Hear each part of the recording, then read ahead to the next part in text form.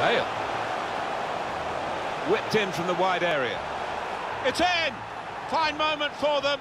They've got a firmer grip on the game now. They're two ahead.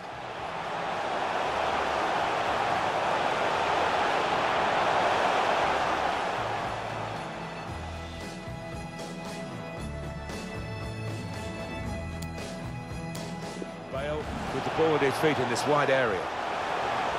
Good width in the attack. Dembele!